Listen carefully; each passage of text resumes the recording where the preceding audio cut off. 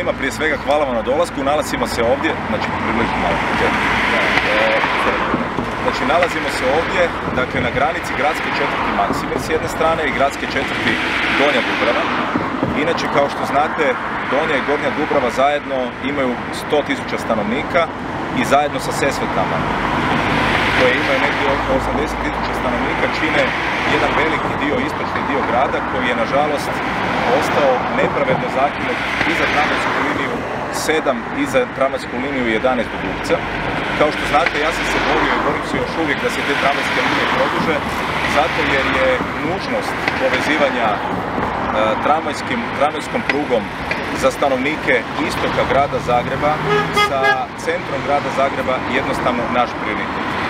Tramvajska pruga je jeftinija, ona štedi prije svega energiju, štedi troškove, ima veći kapacitet putnika, ali i ekološki je prihvatljivija od autobusnog prometa i od ceste.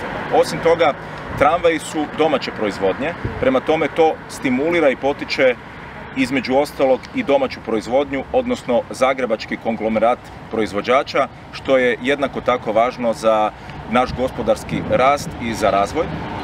Ono što ću reći i za čega smo se danas ovdje okupili je prijedlog socijaldemokrata.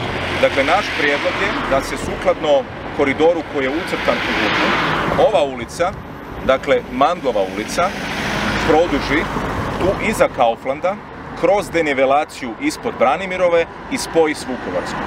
Na taj način Dubrava će biti povezana s Vukovarskom, odnosno ovaj istočni dio grada će biti povezan sa jugoistočnim dijelom grada i to će omogućiti stanovnicima ovog dijela grada jednostavno brži e, promet.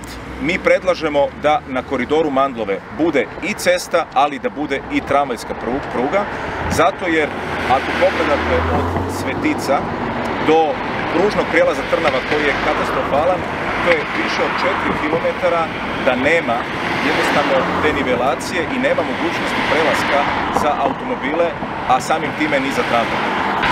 Znači, mi smo sada s ove strane i Mandova produžena bi trebala ići ovdje Ne, ne, ostavite to.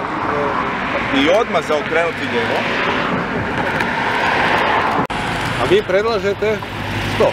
Znači mi predlažemo da ovim koridorom ide i prometnica i tramvaj. Jer je tramvaj ostao ucrtan da ide ravno dole, ide kroz kampus.